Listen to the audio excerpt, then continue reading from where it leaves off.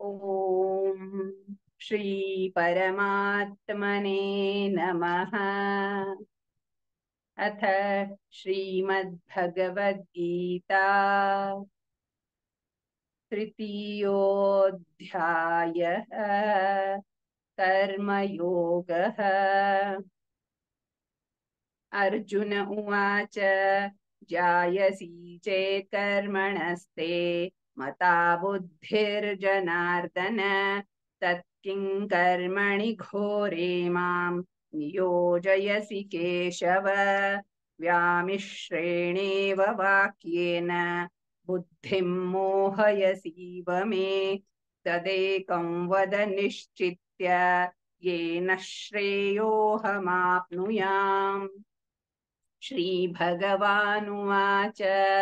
लोकेऽस्मिन् द्विविधा निष्ठा, पुरा प्रोक्ता मया नघ ज्ञानयोगेन साङ्ख्यानां कर्मयोगेन योगिनां।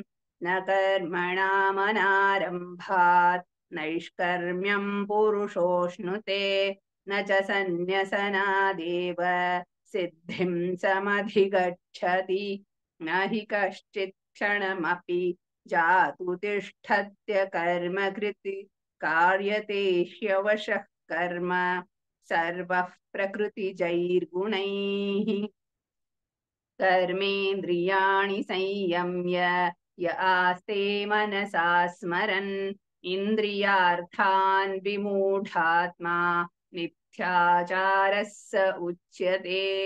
यस्त्विन्द्रियाणि मनसा नियम्यारभतेऽर्जुन कर्मेन्द्रियैः कर्मयोगम् असक्तः स विशिष्यते।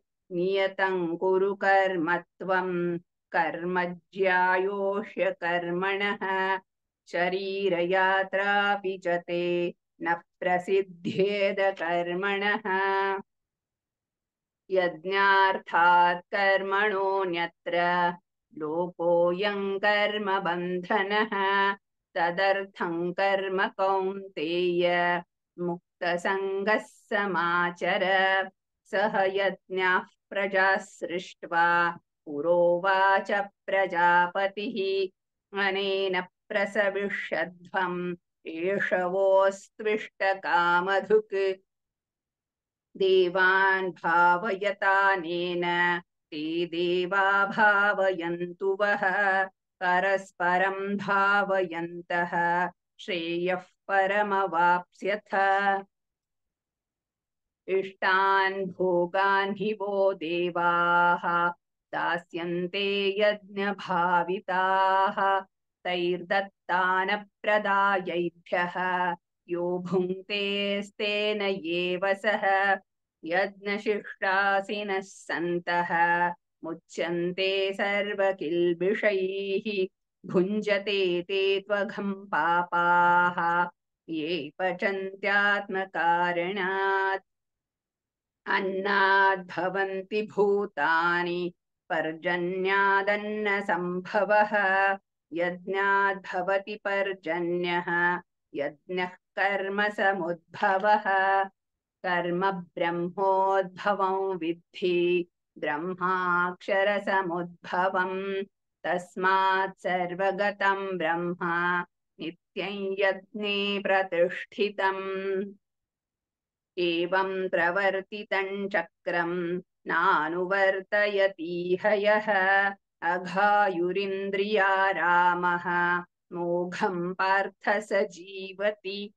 यस्त्वात्मरतिरेव स्यात् आत्मतृप्तश्च मानवः, आत्मन्येव च सन्तुष्टः, तस्य कार्यं न विद्यते। नैव तस्य कृतेनार्थः नाकृतेनेह कश्चन न चास्त्यः सर्वभूतेषु कश्चिदर्थव्यपाश्रयः। तस्मादसक्तः सततं कार्यं कर्म समाचर असक्तो कर्म परमाप्नोति पूरुषः। कर्मणैव हि संसिद्धिं आस्थिता जनकादयः लोकसङ्ग्रहमेवापि सम्पश्यन् कर्तुमर्हसि यद्यदाचरति श्रेष्ठः, तत्तदेवेतरो जनः। य स यत्प्रमाणं कुरुते, लोकस्तदनुवर्तते। न मे पार्थास्ति कर्तव्यं, त्रिषु लोकेषु किंचन ज्ञानवाप्तमवाप्तव्यं। वर्त एव च कर्मणि। यदि ह्यहं न वर्तेयं जातु कर्मण्यतन्द्रितः, मम वर्त्मानुवर्तन्ते मनुष्याः पार्थ सर्वशः।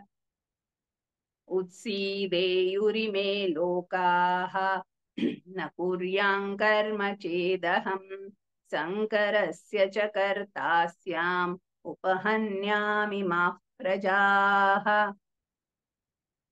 कर्मण्य विद्वांसः यथा कुर्वन्ति भारत।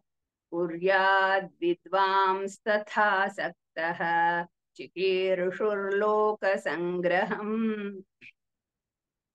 न बुद्धिभेदं जनयेत् अज्ञानां जोषयेत् सर्वकर्माणि। विद्वान्युक्तः समाचरन्। प्रकृतेः क्रियमाणानि, गुणैः कर्माणि सर्वशः। अहङ्कारविमूढात्मा, कर्ताहमिति मन्यते। तत्त्ववित्तु महाबाहो, गुणकर्मविभागयोः। गुणा गुणेषु वर्तन्ते, इति मत्वा न सज्जते।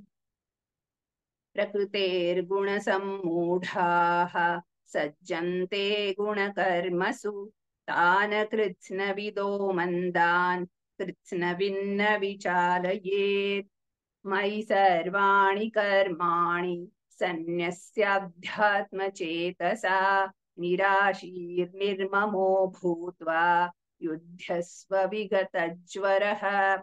ये मे मतमिदं नित्यम्, अनुतिष्ठन्ति मानवाः। श्रद्धावन्तो न सूयन्तः, मुच्यन्ते तेऽपि कर्मभिः, ये त्वेतदभ्यसूयन्तः नानुतिष्ठन्ति मे मतम्, सर्वज्ञानविमूढांस्तान् विद्धि नष्टान चेतसः सदृशं चेष्टते स्वस्याः, प्रकृतेर्ज्ञानवानपि प्रकृतिं यान्ति भूतानि, निग्रहः किं करिष्यति? इन्द्रियस्येन्द्रियस्यार्थे रागद्वेषौ व्यवस्थितौ तयोर्न वशमागच्छेत् तौ ह्यस्य परिपन्थिनौ, श्रेयां स्वधर्मो विगुणः, परधर्मात् स्वनुष्ठितात् स्वधर्मे निधनं श्रेयः परधर्मो भयावहः। अर्जुन उवाच, अथ केन प्रयुक्तोऽयं पापं चरति पूरुषः, अनिच्छन्नपि वार्ष्णेय बलादिव नियोजितः। श्रीभगवानुवाच, काम एष, क्रोध एषः रजोगुणसमुद्भवः महाशनो महापाप्मा विध्येनमिह वैरिणम्। धूमेनाव्रियते वह्निः। यथादर्शो मलेन च यथोल्बेनावृतो गर्भः। तथा तेनेदमावृतम्। आवृतं ज्ञानमेतेन ज्ञानिनो नित्यवैरिणा कामरूपेण कौन्तेय दुष्पूरेणानलेन च इन्द्रियाणि मनोबुद्धिः अस्याधिष्ठानमुच्यते, एतैर्विमोहयत्येषः ज्ञानमावृत्य देहिनम्। तस्मात् त्वमिन्द्रियाण्यादौ नियम्य भरतर्षभ पाप्मानं प्रजहि येनं ज्ञानविज्ञाननाशनम्। इन्द्रियाणि पराण्याहुः, इन्द्रियेभ्यः परं मनः, मनसस्तु परा बुद्धिः, यो बुद्धेः परतस्तु सः। एवं बुद्धेः परं बुद्ध्वा संस्तभ्यात्मानमात्मना जहि शत्रुं महाबाहो कामरूपं दुरासदम् ॐ तत्सदिति श्रीमद्भगवद्गीतासु उपनिषत्सु ब्रह्मविद्यायां श्रीकृष्णार्जुनसंवादे कर्मयोगो नाम तृतीयोऽध्यायः। सर्वधर्मान् परित्यज्य मामेकं शरणं व्रज। अहं त्वा सर्वपापेभ्यः मोक्षयिष्यामि मा शुचः।